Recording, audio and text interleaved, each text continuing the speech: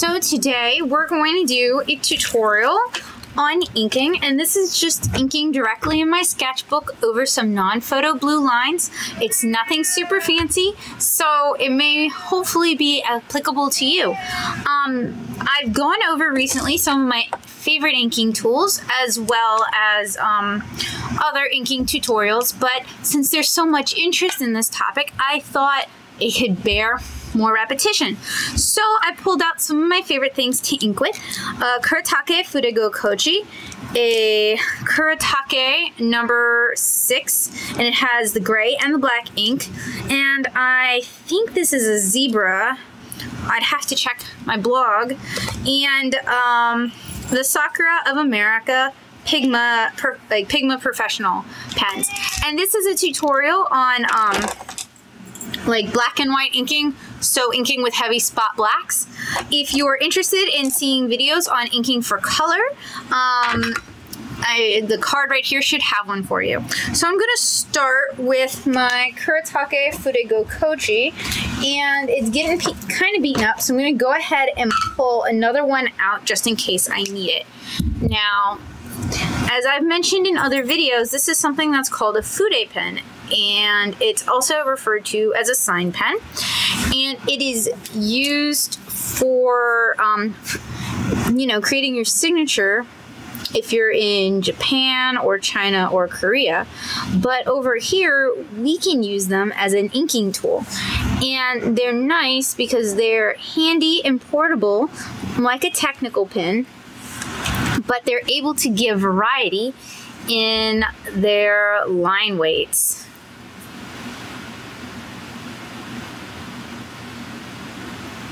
So right now I'm going to go ahead and um, so when I do um, like spot black or heavy inking for black and white reproduction, what I will usually do is I'll usually ink the entire piece and then I'll go back and uh, see where I can add more ink.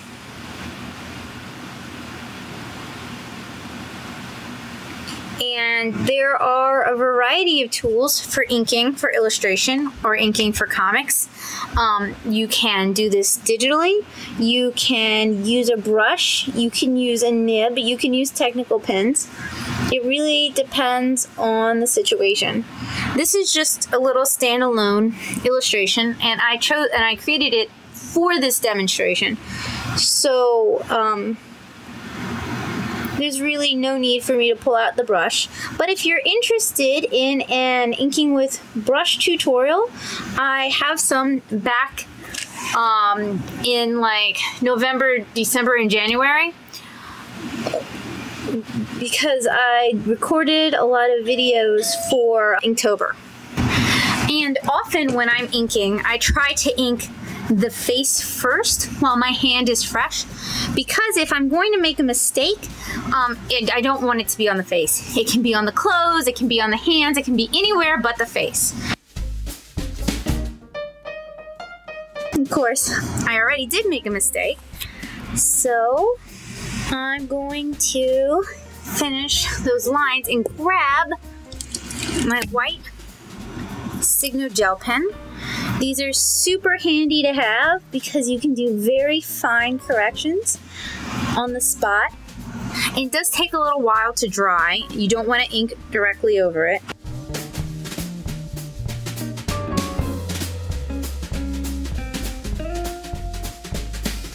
So once your correction has dried, you can go over it and uh, either tighten your line that you'd already put down or even make your line a little wider.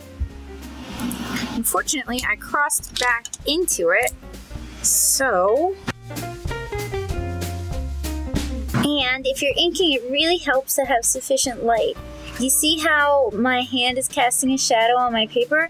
You, you really don't want that. It makes it hard to see what you're doing. Unfortunately, the needs of recording mean that for you guys to see what I'm doing, I need this light right there. But if I were inking and not recording, I wouldn't have that particular light on.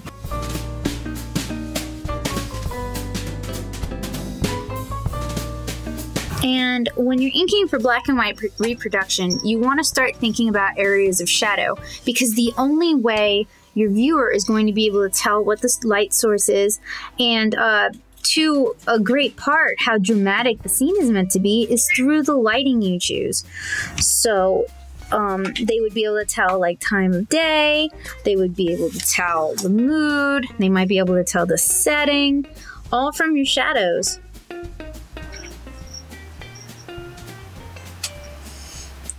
So let's say the light source is coming from directly above. I'll indicate that with a yellow highlighter. That means you are going to want a cast shadow under the neck like that. So the way you do that is you thicken up that line and I'm hesitant to do the cast shadow in her hair right now because I'm going to be blocking in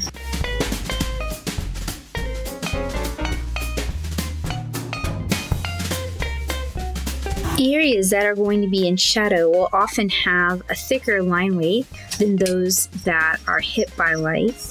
Sometimes to the point where you're like um, doing something called hide and seek lines, where parts of the line aren't rendered.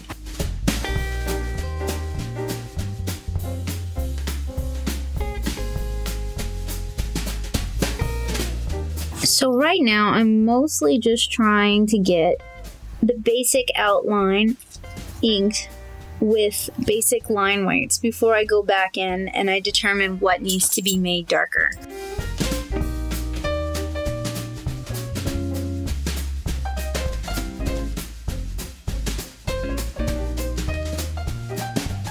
Alright, so I have my basic liner completed and now it's time to start determining and filling in areas of spot black.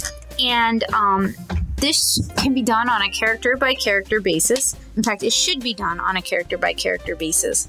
So Kara has dark brown hair, not black when when rendered in color, but dark brown. And that means I have the option of rendering her hair in a few ways. Um, I can leave it like this I can try to render the actual texture of her hair. And there are many artists who do that to not with my particular character, but with their own characters can do that to great effect. It's always been kind of difficult for me. Um, what I like to do is I like to go ahead and render her hair in, and I'm using that zebra because it's got a nice, fairly large, flexible brush. And I'm letting the brush do a lot of the work for leaving highlights in.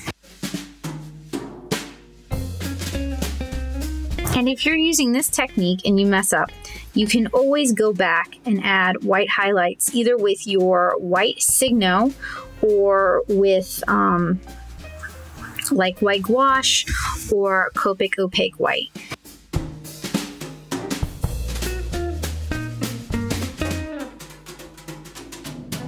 It may take some practice to get um, to be able to fill in the highlights the way you want to.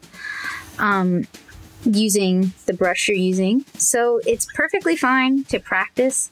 Um, something I enjoyed doing in 2015 was I would do something called style tests, where I would try to break down how illustrators and artists I admired rendered their characters, what sort of style conventions they used, and would try to draw Kara in their style. So that way I'm not just copying something they already drew, but I am trying to understand what makes their style tick.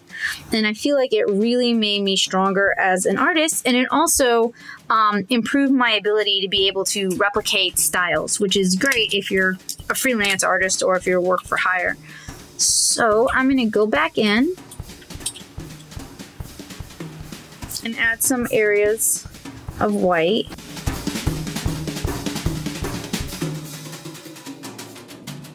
Let those dry and then knock those back with um, the black. So next thing I need to do is fill in areas that are entirely in shadow, like the underside of her dress. And then this dress is supposed to be um, a patchwork pattern dress. So I'm going to go ahead and also fill in using my large Kuretake number six. I'm going to fill that in as well. And that way it'll give it time to dry and I can add a pattern on top of that using the white Signo if I want to.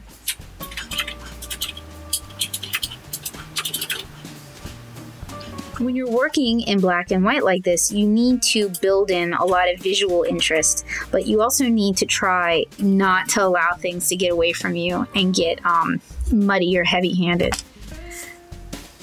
And that takes a lot of practice and trial and error. So um, you might as well get that out of your system and make as many mistakes as possible so you can learn as quickly as possible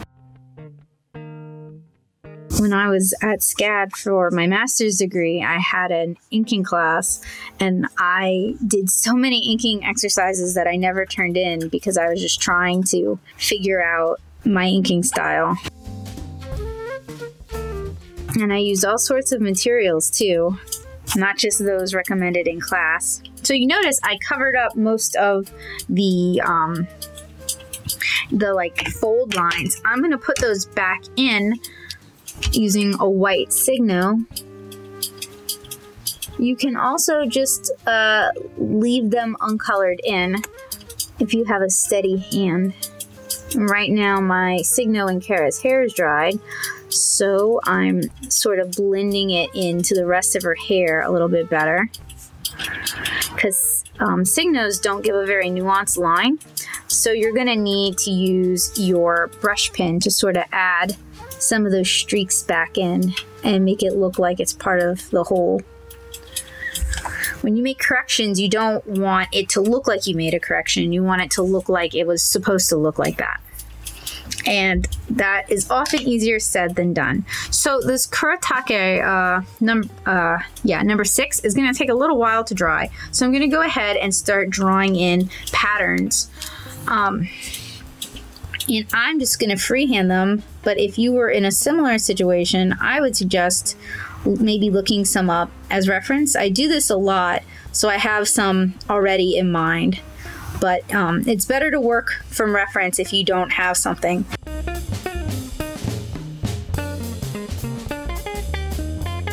Black and white as a as an inking choice is more um, it's increasingly becoming either an active choice made by the artist for visual effect or um, a choice by a traditional print publisher due to uh, cost. So, this isn't necessarily a skill you may find yourself relying on often, but you may decide to use black and white for effect in your own pages because it'll really stand out, especially if you're working in color in general.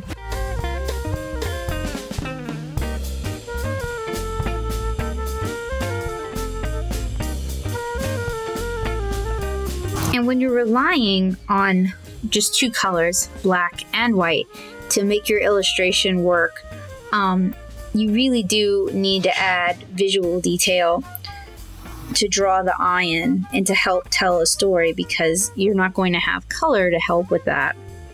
I mean, in this illustration, there is some non photo blue, but that's more for the underdrawing, and that would be dropped out entirely. So, some little zigzag stitches right there.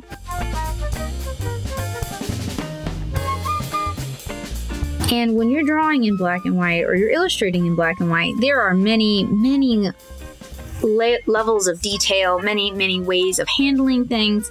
Um, my black and white art in general tends to um, I, I grew up reading a lot of uh, Mitsuru Adachi and Rumiko Takahashi, so I happen to like oh and Kiyohiko Azuma. I I tend to lean away from tone, um, and I like a heavier line, um, a more bouncy sort of style, hand drawn sort of details. That's my personal preference because the artists I admired when I was growing up used those techniques themselves.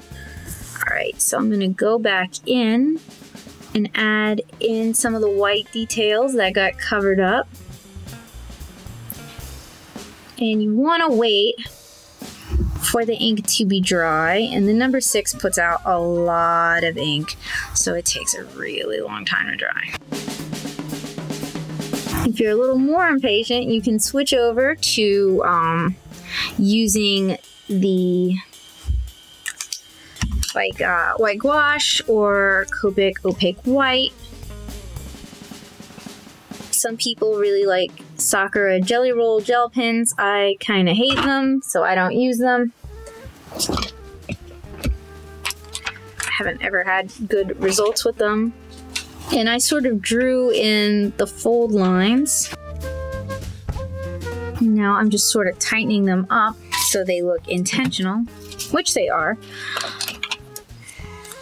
And then I need to draw some sort of a pattern. Go ahead and do stitching right here. And maybe little clovers on this one.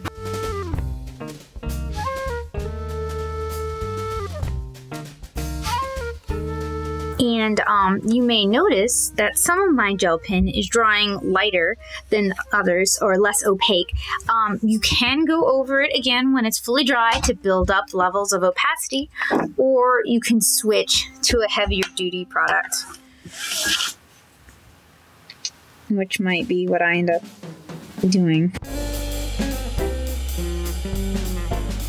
As with most types of illustration, though, being patient is really a virtue for black and white inking. You're going to need patience to draw in lots of little details. You're going to need patience for your ink to dry. This is why many um, prefer to do their inking digitally because a lot of the restrictions are removed. Um, I mean, you still need to develop skill, you still need to develop patience, but you know, um, there are tones you could like apply digitally rather than drawing them in by hand, which would make the process go a lot faster. I find it very satisfying to ink by hand, um, but I'm also the sort of artist who really likes having a physical finished piece when she's done. So that's why most of my work is traditional media.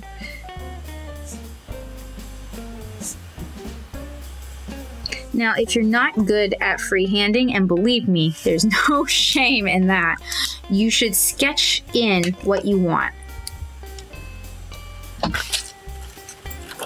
Here I have my trusty non-photo blue pencil, and I'm going to sketch in some stripes on her leggings rather than trying to get them perfect the first time. I'm also going to denote, and I do that with an X, which stripes are going to be filled in black. Now this is handy because if I was going to pass this off to someone else, they could go ahead and fill it in with no problem. And when you do things like drawing stripes or drawing patterns, you really want them to bend and move around the fabric and the forms you're drawing as best as you possibly can render it that way um, because that's going to make it more believable and convincing.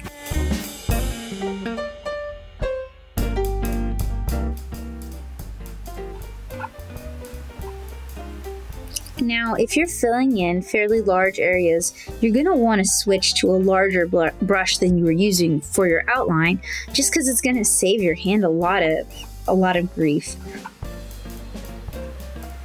You could even opt, instead of using a brush pen, to go ahead and do your fills with a brush dipped in ink. It's really up to you. Um, I find brush pens very convenient because they are low mess, and since I have a cat who runs all over my studio making all sorts of mess, um, foolproof is definitely something I always appreciate. So now we have the basics of this illustration drawn in, um, or inked in, rather, almost done.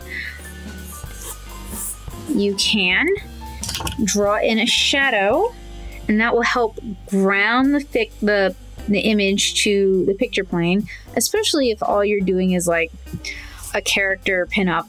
And when I say pinup, it doesn't mean um, pinup in like sort of like the Playboy kind of way. It just means it's like a, a fairly standard character illustration. Um, not really much background, not much interaction. So if you're doing that kind of a pinup, grounding your character to the picture plane with a shadow can um, really help make your piece look a little bit more believable. And I'm using the Kuretake number 6 right now because it has a nice big brush and I can very quickly fill in the shadow.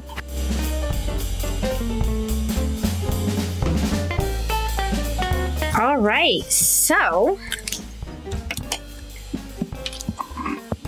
this was a very basic tutorial on how to do inking for spot blacks or uh, black area fills. I hope you guys found it useful. I hope you found it helpful. If you have any questions, please let me know in the comment section. I'll try to get to them as soon as I can. If you enjoy content like this and you'd like more of it, please consider subscribing to my channel or checking out my blog, nattosoup.blogspot.com. If you'd like to help make more content like this possible, you can do so by sharing this to your social networks and expanding my audience, which I would greatly appreciate. And if you'd like to help financially make more content like this possible, please consider funding my Patreon. I hope you guys have a great day. I'll see you around. Bye.